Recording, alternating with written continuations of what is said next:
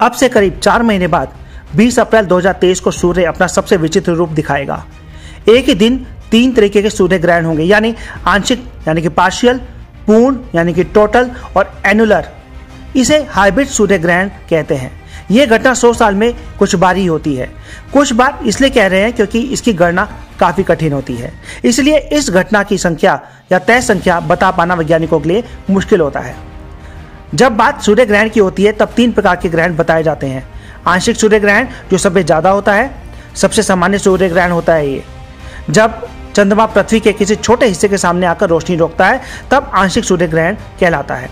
दूसरा होता है एनुलर सूर्य ग्रहण यानी जब चंद्रमा सूर्य के बीचों बीच आकर रोशनी को रोकता है, तब चारों तरफ़ एक चमकदार रोशनी का गोला बन जाता है, इसे रिंग ऑफ़ फायर भी कहते हैं।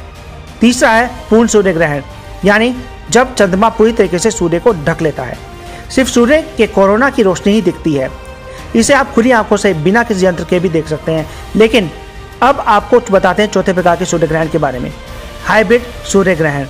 ऊपर बताए गए तीनों सूर्य ग्रहणों का मिक्सचर होता है। यह सबसे दुर्लभ और विचित्र सूर्य ग्रहण माना गया है। सबसे ज़्यादा खूबसूरत और कम होने वाला ग्रहण।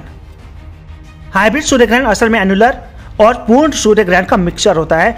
इसमें पहले एनुलर सूर्य ग्रहण होता है, फिर पूर्ण सूर्य ग्रहण इसके बाद यही प्रक्रिया पलट जाती है, इसलिए दुनिया भर के लोग एक ही समय अलग अलग प्रकार के सूर्य ग्रहण देखेंगे। यानी अगर आप सूर्य, सूर्योदय या सूर्यास्त के समय हाइब्रिड सूर्य ग्रहण देख रहे हैं तो आपको हल्का सा रिंग ऑफ़ फायर यानी आग का छल्ला देखने को मिल सकता है। आप हाइब्रिड सूर्य ग्रहण अगर दोपहर में देखने की कोशिश करेंगे तो आपको कोई एक चीज़ ही देखने को मिलेगी, चाहे एनुलर सूर्य ग्रहण या फिर पूर्ण सूर्य ग्रहण वह पृथ्वी पर आपकी स्थिति पर निर्भर करेगा।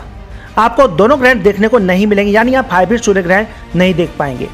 बस ध्यान इस बात का रखना होगा कि किसी भी सूर्य ग्रहण को देखते समय आप उसे खुली आँखों से ना देखें। काला चश्मा या फिर खास यंत्रों की मदद ज़रूर लें। आखिर क्यों होता है हाइब्रिड सूर्य ग्रहण चंद्रमा लगातार पृथ्वी के चारों चक्कर लगाता है, लेकिन वह हमेशा धरती के एक बराबर दूरी पर नहीं रहता। कभी थोड़ा दूर तो कभी नज़दीक। इस कारण जब वह पृथ्वी और सूर्य के बीच में आता है और पृथ्वी के इतना पास हो कि उसकी छाया से पृथ्वी का एक भूभाग पूरी तरीके से ढक जाए, तब पूर्ण सूर्य ग्रहण लगता है। जब वह सूर्य और धरती के मध्य में आता है, लेकिन उसकी दूरी पृथ्वी से ज़्यादा होती है, तब उसकी छाया छोटी होती है। ऐसे में एनुलर सूर्य ग्रहण बनता है। लेकिन हाइब्रिड सूर्य ग्रहण के समय चंद्रमा की धरती से दूरी न ज़्यादा होती है, न कम। वह पृथ्वी से इतना दूर होता है जिससे उसकी छाया पृथ्वी के एक बहुत छोटे भूभाग या सतह पर खत्म होती है। वहाँ से नया छाया क्षेत्र बनाते हुए चारों ओर फैलती है।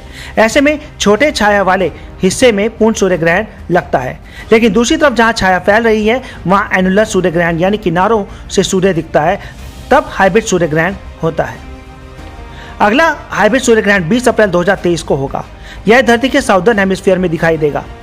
एनुलर और पूर्ण सूर्य ग्रहण के पॉइंट्स सुदूर समुद्र में है, इसलिए सबको यह दिखेगा नहीं। पश्चिमी ऑस्ट्रेलिया के साउथ माउथ प्रायद्वीप पर एक मिनट के लिए दिखेगा। तिमोर लेस्टे में एक मिनट चौदह सेकेंड और वेस्ट पपुआ में एक मिनट नौ सेकेंड।